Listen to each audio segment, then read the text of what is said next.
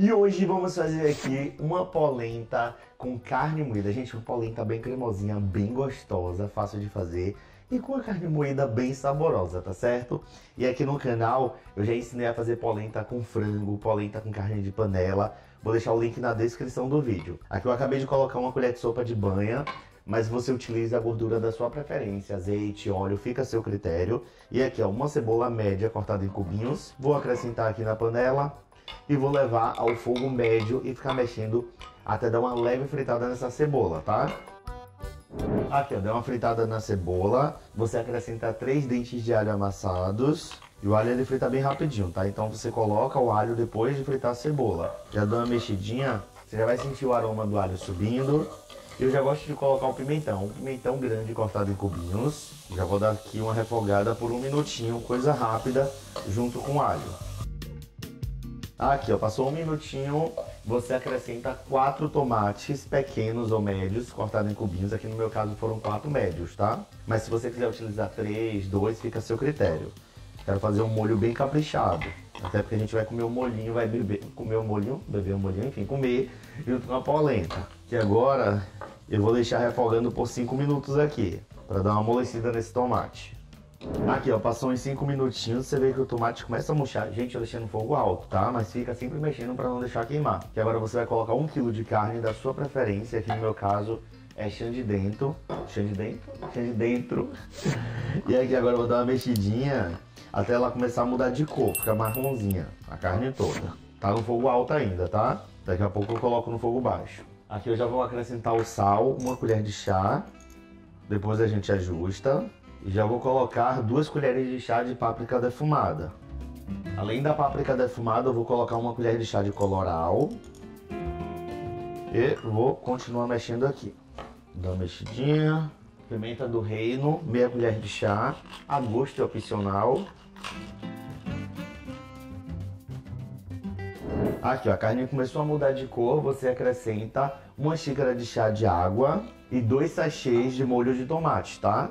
Aqui deu 300 gramas cada sachê, tá? E aqui eu vou colocar um punhadinho de cheiro verde e vou deixar o restante para finalizar, quando acabar. Dá mais uma mexidinha. E aqui agora eu vou tampar e deixar cozinhando no fogo baixo para médio por uns 10 minutos. Em vez em quando vem aqui dar uma mexida, tá?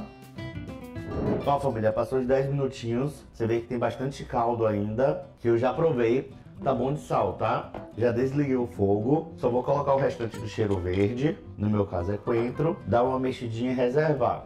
Família, aqui ó, nossa carne já está pronta, agora você vai colocar em uma tigela o fubá, meio pacote, duas xícaras, tá? 250 gramas. Gente, essa técnica aqui que eu vou ensinar pra vocês é pra não empelotar, tá? E aqui, ó, duas xícaras de chá de água. Eu gosto de colocar primeiro uma xícara, dou uma mexida, Dá uma mexida não, mexe bem, tá? Até virar uma pastinha. Ó, virou essa pastinha, você coloca outra xícara de chá de água.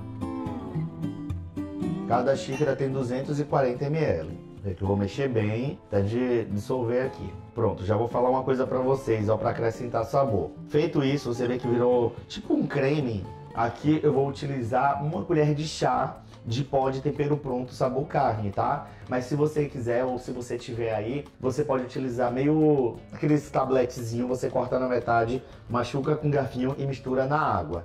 Aqui eu já vou colocar na água. Ou você pode colocar aqui direto, não tem problema não. E aqui, ó, 600 ml de água, você coloca aqui dentro. Ah, Nando, eu não quero utilizar sachê de tempero pronto. Aí você coloca uma colher de chá de páprica defumada. Você pode colocar meia colher de chá de páprica picante se você quiser. Ou um terço de colher de chá de pimenta do reino. E uma colher de chá rasa de sal, tá? Para dessa temperadinha. Pronto. E agora, em uma panela, você vai colocar, deixa eu dar uma ajeitadinha aqui e já volto. Agora em uma panela você vai colocar meia colher de sopa de gordura e você coloca da sua preferência, aqui no meu caso é banha, meia cebola pequena cortada em cubinhos, a gente vai dar uma temperada na polenta, tá? Pra ela ficar bem saborosa, não vai de polenta sem graça não. E aqui você vai levar ao fogo médio e ficar mexendo até dar uma leve fritada na cebola. Aqui ó, dessa leve fritada na cebola você acrescenta dois dentes de alho amassadinhos. Gente, o alho frita bem rápido, tá? Você vai ficar mexendo aqui por uns 30 segundos segundos, não precisa fritar muito. Fez isso, você coloca no fogo baixo e já coloca a misturinha da polenta.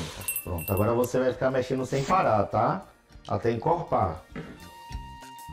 Ó família, aqui ó, já encorpou. Aqui agora você vai fazer o quê? Você prova e vai colocar o sal, tá? Aqui no meu caso eu já provei, coloquei uma colher de chá rasa de sal. Feito isso, você desliga o fogo, mexe bem. Com o fogo desligado, você coloca uma colher de sopa de manteiga, manteiga ou margarina, você que sabe. E mexe novamente. Você vai mexer até ela se misturar por completo na polenta. Gente, ela fica líquida, quando você vai mexendo no fogo, ela endurece rápido, tá? Um piscar de olhos, ela já fica nessa consistência.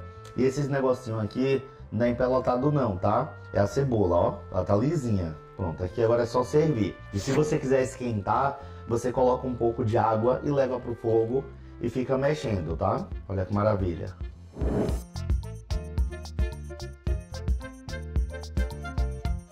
Família do Nando, que polenta gostosa. Gente, tá tão, mas tão gostosa. Podem fazer de olho fechado que vocês vão amar. Beijo na pontinha do nariz. Não esquece de compartilhar que me ajuda muito. Assistir outras receitas aqui do canal. Se inscrever, clicar no gostei. Se eu te ajudei de alguma forma. Hum. Nossa, tá muito bom mesmo. A polenta, gente, tá bem temperadinha. A carne tá gostosa também. O caldinho tá bem... Sabe aquele caldo da carne bem temperado? É esse aqui. Tchau!